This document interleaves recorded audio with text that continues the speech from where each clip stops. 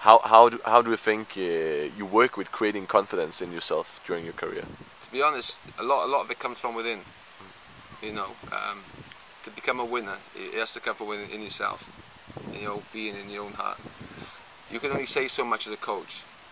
You know, to give give a fighter confidence. But in reality, when he steps in that ring, you're on your own.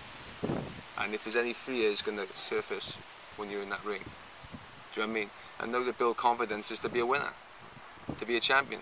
Obviously, you're going to have doubts. I've had doubts in my mind from I've been injured. And, but, you know, say for instance, uh, the Jeff Lacy fight, you know, he's, my dad was, um, I really needed him then because I, did, I, I, had an injury going into that fight. I, was, I nearly pulled out of the fight. And he had to really tell me as he was that I needed to fight that fight and I would beat this guy's ass no matter what. And he's always been a great judge of fights and I didn't believe I'd beat him as easy as I did. But he called it. He said I would beat him as like I did. Every single minute, every single round. But how, how did you? Uh, but how? What did you when you were in the ring? How did you? How do you think? How do I you talk to yourself? Tunnel vision. There's tunnel vision. Mm. All all the all the thought is before the fight. You know, I sleep thinking about the fight. I wake up thinking about the fight. I train thinking about the fight. So to actually step in the ring for me is a relief. That's the easy bit.